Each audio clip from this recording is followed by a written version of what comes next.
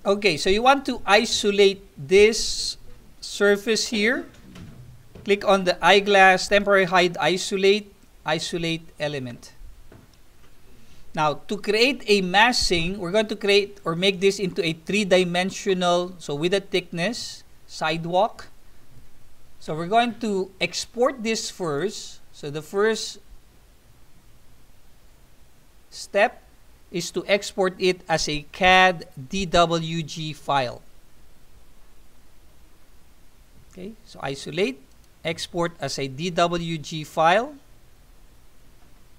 Okay, click next and save this as a file that you can remember or just say SW so it's easy to recognize.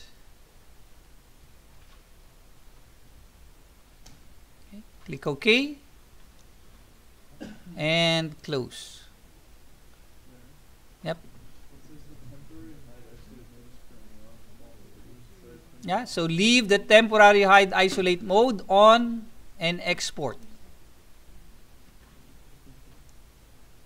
So that's your first step.